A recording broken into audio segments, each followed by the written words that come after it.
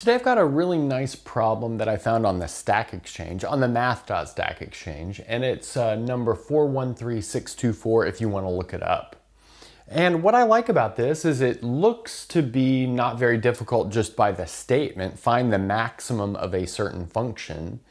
But when you notice how this function is defined, you'll see that this is a bit tricky. So notice we have f of x equals sine of x plus the integral from minus pi over 2 to pi over 2 of sine of x plus t cosine of x times f of t dt.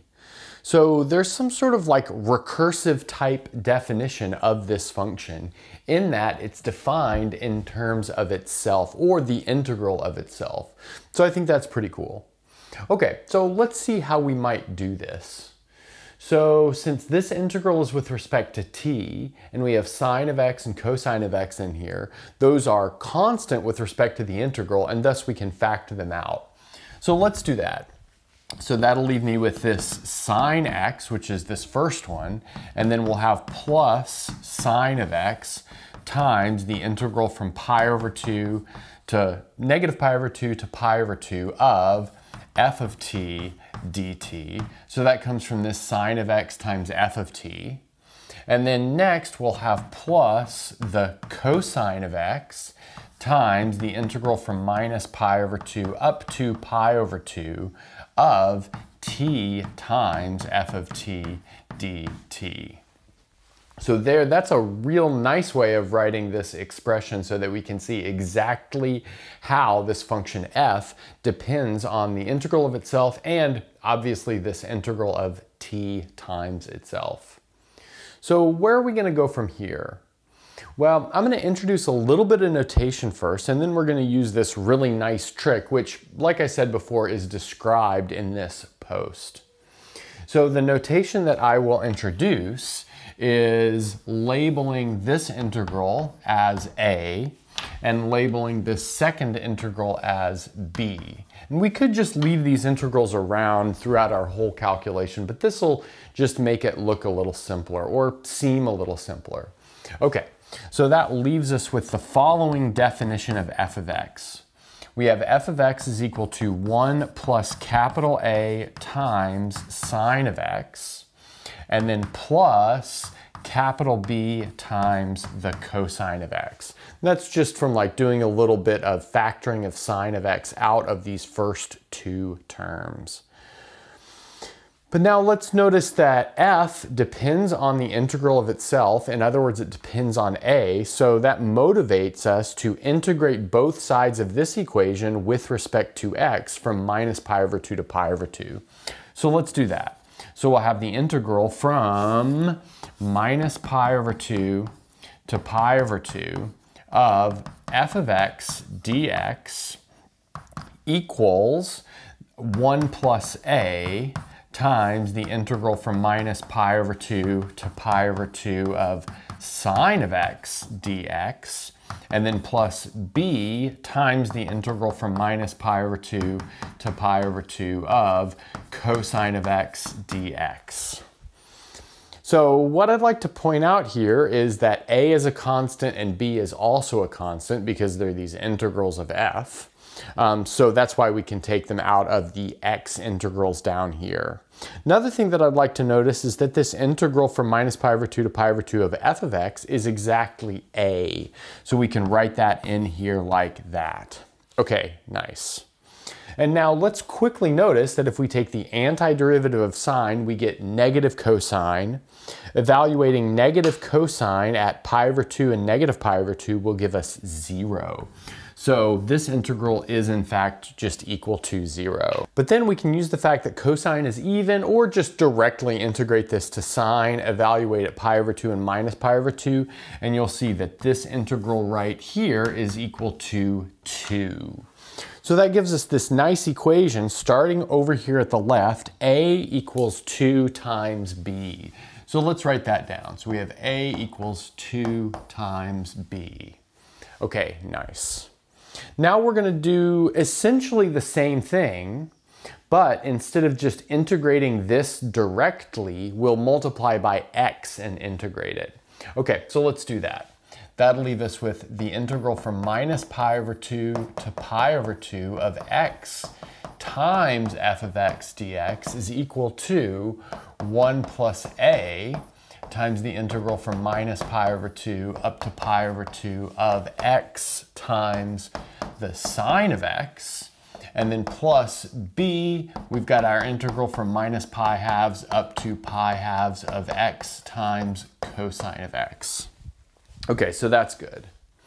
But then let's next notice that this integral of x f of x is exactly equal to our number b over here. So we can extend this over and say, oh, well, really what I have is just our number b right there. Okay, and now we have two integrals to calculate and they both are easily calculated with integration by parts. We can use the tabular or the DI method for integration by parts for each of them, given that they're a fairly simple polynomial times a trigonometric function. So let's look at this first one first. We have the integral of x times sine of x. So we'll take the derivative down this column, 1, 0, antiderivative down this column, that'll be minus cosine of x minus sine of x. And then we'll match on the diagonal, like so, and then we'll alternate the sign. So that'll leave us with something like this. So that means we have 1 plus a, and then this will be minus x times cosine of x, from this first term and then plus sine of x. So plus sine of x. And then we have to evaluate this from minus pi halves up to pi halves. Okay, good. Now let's do the same thing for x cosine x. We can fit that in right here. So x cos x. Derivative is 1 and then 0. Antiderivative is sine of x and then negative cosine of x. Okay, then we can match. So match, match, plus, minus. So that'll leave us with something of this form. We'll have b, then we'll have x times sine x. So let's write that, x times sine x. And then minus negative cosine x. So that'll be plus cosine of x. And then we need to evaluate that from minus pi halves up to pi halves. Okay, so let's see what each of these evaluations will give us. So let's see, cosine of pi over 2 and cosine of negative pi over 2 are both 0. So this will just be 0. Likewise, this down here will also be 0. Sine of pi over 2 is 1 and sine of negative pi over 2 is negative 1. Subtracting those, we get 2. So that means this term right here, all when said and done, will give us the number 2. So at the moment, we have this is the same thing as 2 times 1 plus a. But now let's notice that doing the same thing here, we'll pick up uh, two minus signs because of this x right here. But then the minus sign built into the subtraction means that this will also zero out.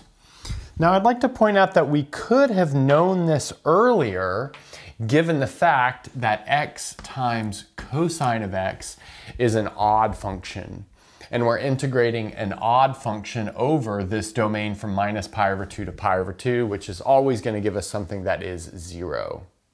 Okay, so let's see. We've got b is equal to 2 times 1 plus a. In other words, it's equal to 2a plus 2. Okay, so that combined with this a equals 2b should allow us to solve for each of these. So let's plug in a equals 2b to this, and we'll see that we have 4b plus 2 is equal to our original b, just extending that down. But then very, very quickly, what we'll see is that b is equal to negative 2 over 3. So that's just from moving some things around and then solving pretty easily. But if b is negative 2 thirds, then that tells us that a is equal to negative 4 over 3. Great. So that'll allow us to write down a nice formula here for our function f of x. So if a is negative 4 over 3, that makes 1 plus a negative 1 third. And then b is negative 2 thirds, so negative 2 over 3. Okay, so let's start the next board with that new cleaned up version of f and we can finally find its maximum. So we just determined that this crazy recursive definition of f involving its own integral boils down to f of x equals negative one third sine of x minus two thirds cosine of x. And from here, our goal is to find the maximum of this function. So the maximum will occur when the derivative is zero. So let's calculate the derivative. And we can easily calculate the derivative now that we have this simple version here. So that'll give us minus one third times cosine of x and then plus 2 thirds times sine of x. So we need to know when that is equal to zero. So we can move some things around and we'll see that 2 thirds sine of x equals 1 third cosine of x. We can divide by cosine and then divide by 3 halves and that will leave us with something like this means that the tangent of x is equal to 1 half, I believe. Yeah, that's what you get. Okay, so we see that a maximum will occur, or a maximum or a minimum will occur when the tangent is equal to half. Now let's notice with the structure with these minus signs over here, we'll have a maximum for this function when sine of x and cosine of x are both positive or both negative, I should say. So they both have to be negative in order to make the tangent positive.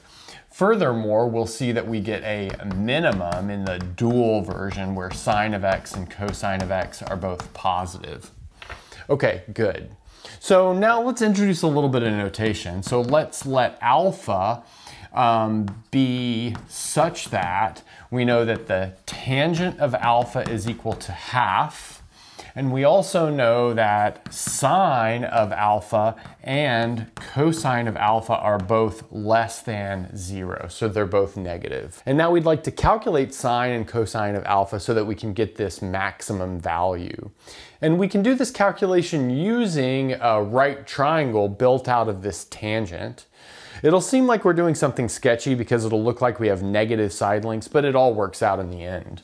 Okay, so let's draw our triangle. So let's say this is angle alpha.